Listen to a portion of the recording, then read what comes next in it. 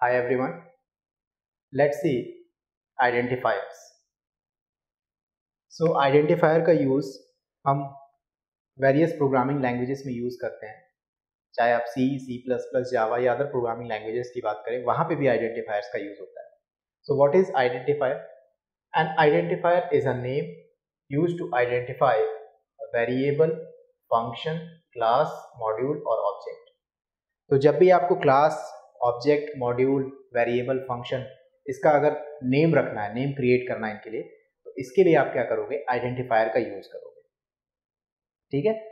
But you have to remember that कि Python जो है, एक केस सेंसिटिव लैंग्वेज है।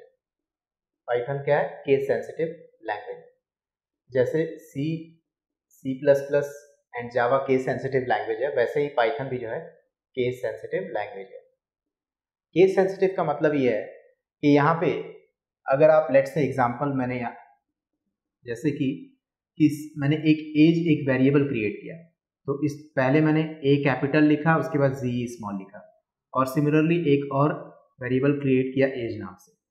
यहाँ पे ए जो है स्मॉल है। तो इन दोनों में बहुत डिफरेंस है।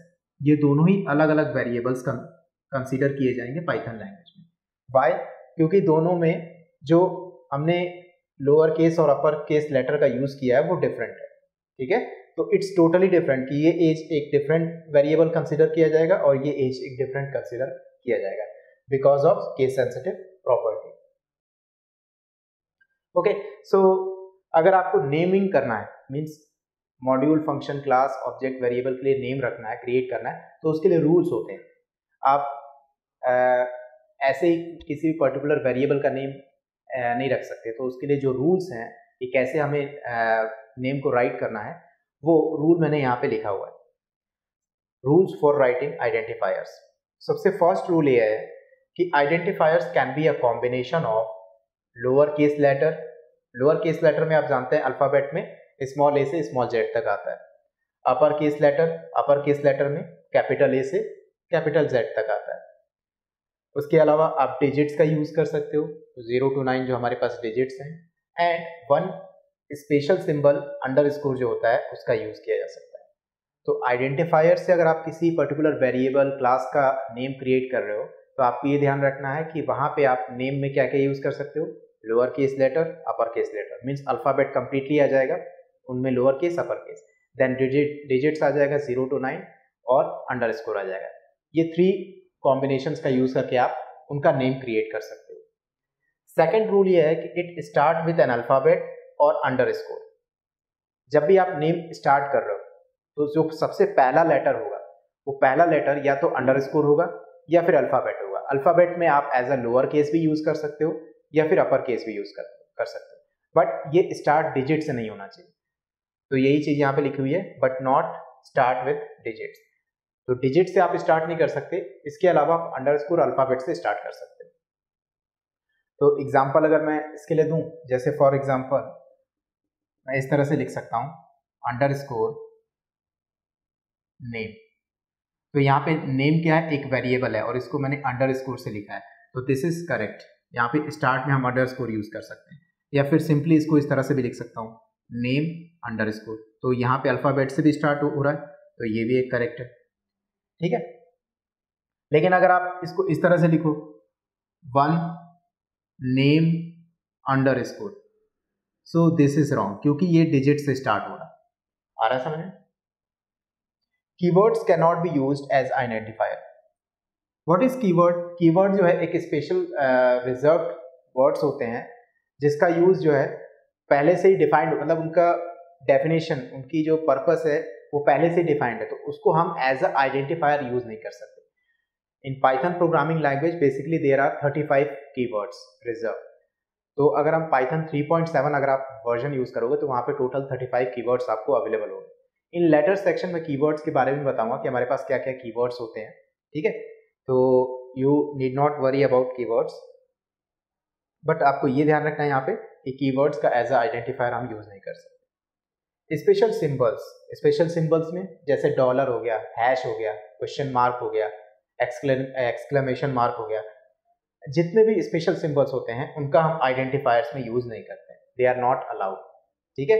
सिर्फ़ एक स्पेशल सिंबल यूज़ होता है underscore and the last point is identifiers can be of any length identifiers की लेंथ जो है, वो आप कितनी भी रख सकते हो इट डिपेंड्स ऑन यू ठीक है? कि उसकी मीनिंग और उसका पर्पस आप किस वे में यूज़ कर रहे हो। सो फ़र्स्ट थिंग कि अल्फ़ाबेट आपको यूज़ करना है डिजिट्स यूज़ करनी है और अंडरस्कोर यूज़ करना है। अल्फ़ाबेट में अगर मैं बोल रहा हूँ तो वहाँ पे लोअर केस और अपर केस दोनों की बात कर रहा हूँ। सेकेंड पॉइंट कि आपको अंडर स्कोर और अल्फ़ाबेट से स्टार्ट करना है, लेकिन डिजिट से स्टार्ट नहीं करना है। थर्ड पॉइंट कि कोई भी स्पेशल सिंबल अंडर स्कोर के अलावा वो अलाउ नहीं होता है। फोर्थ पॉइंट कीवर्ड्स जो है हम एज आइडेंटिफायर यूज़ नहीं करते। एंड लास्ट पॉइंट कि आइडेंटिफायर्स की लेंथ जो है कितनी भी आप रख सकते ठीक है? So let's see the examples so example में सबसे first as it is a variable ये एक आइडेंटिफायर है और ये करेक्ट है. क्या मैं इसको इस तरह से भी लिख सकता हूँ? डेफिनेटली लिख सकता हूँ. थर्ड एग्ज़ाम्पल मैं अंडर स्कोर का यूज़ कर सकता हूँ. तो स्टार्ट में अंडर स्कोर वेर और वन तो यहाँ पे मैंने स्टार्ट अंडर स्कोर से किया है, जो कि अलाउ है। डिजिट्स का यूज़ किया अल्फाबेट्स का यूज़ किया। तो इट इज़ करेक्ट अगर मैं इसको इस तरह से लिखूँ तो वन अंडर स्कोर वेर क्या ये अलाउेबल है? नहीं। क्यों? क्योंकि यहाँ पे डिजिट से आप स्टार्ट करो तो डिजिट से स्टार्ट नहीं करना है। आप इसको इस तरह से लिख सकते हो। Var underscore one it is allowed क्योंकि हम अल्फ़ाबेट से स्टार्ट कर सकते हैं। ठीक है? एंड लेट से आप इसको इस तरह से यूज़ कर रहे हो लेट से डबल अंडर स्कोर वेर ये अलाउड है डेफिनेटली अलाउड है। डबल आप अंडर स्कोर कितने टाइम्स भी यूज़ कर सकते हो। बट सब कन्वेंशंस है आइडेंटिफायर्स के केस में।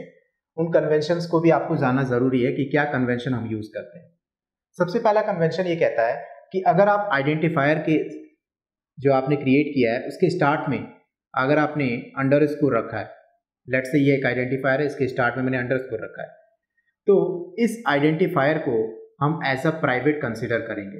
व्हाट इज़ प्राइवेट देखिए private protected and public these are the access specifier जो कि ऑब्जेक्ट ओरिएंटेशन के कॉन्सेप्ट में ही कंसिडर किए जाते हैं। तो इन लेटर सेक्शन हम जो है एक्सेस स्पेसिफायर के बारे में स्टडी करेंगे। बट आप ये ध्यान रखिए कि अंडर स्कोर स्टार्ट में अगर आपने यूज़ किया सिंगल अंडर स्कोर किसी भी आइडेंटिफायर के में तो वो as a private identifier consider किया जाएगा। ये कन्वेंशन है नॉट अ रूल ठीक है? सेकेंड इज़ कि अगर आप डबल अंडर स्कोर यूज़ कर रहे हैं और फिर उसने डबल किसी आइडेंटिफायर के स्टार्ट में आपने डबल अंडर स्कोर यूज़ किया एंड अल्फ़ाबेट का यूज़ किया, उसके बाद मे बी डिजिट्स भी हो सकता है इस तरह से।